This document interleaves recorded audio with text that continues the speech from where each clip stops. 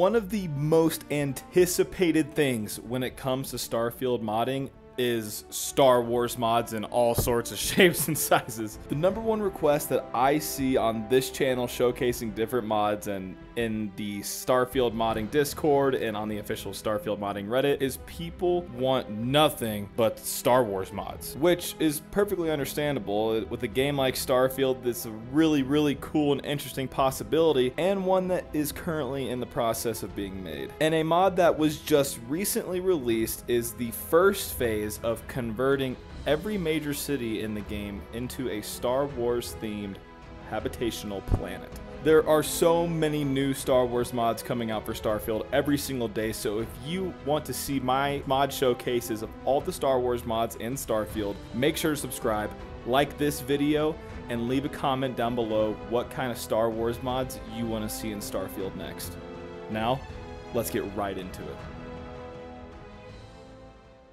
As I alluded to earlier, one of the major components in a total conversion mod for Starfield turning into Star Wars is going to be a mod that converts all the major cities in the world into places that truly feel like a Star Wars city. And this mod plans on doing exactly that with Star Wars City Additions by Crafty Gamer. This mod currently is only available on Nexus Mod and has not been ported over to the creations menu for PC or Xbox yet as it is only in its first iteration right now, only adding a few assets and decorations to specifically the spaceports of both New Atlantis and Aquila City.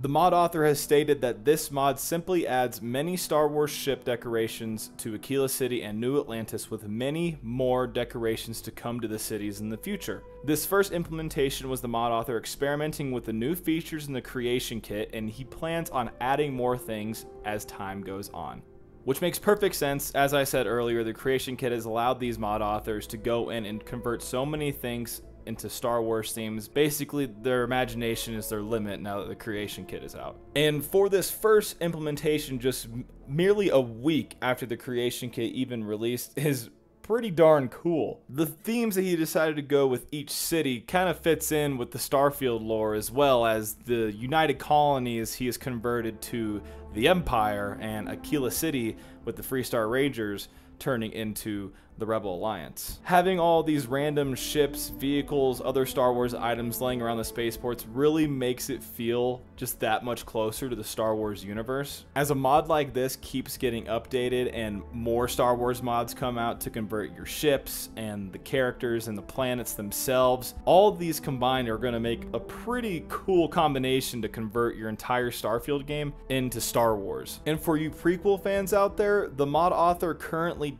doesn't have any plans to do a Clone Wars era theme for the cities yet, as he doesn't have any Clone Wars era ship models ready. So he was going to focus on finishing the original trilogy theme with the Empire and the Rebellion before he moves on to other eras. So as this mod goes on, I cannot wait to see what this mod author comes up with in terms of decorating the spaceports of all the other cities and then continuing to go into the cities from there. I think it's just going to be that much more impressive to have all these things making your Starfield a much more immersive Star Wars experience. And this is going to lead to even more things like a UC Vigilance being converted into a Star Destroyer or turning a moon into the Death Star or things like that. I think the future for Starfield modding when it comes to Star Wars is especially bright and this mod is a great first step towards that. And like I said earlier, if you love Star Wars and you love Starfield and you love Starfield modding, please leave a like on this video,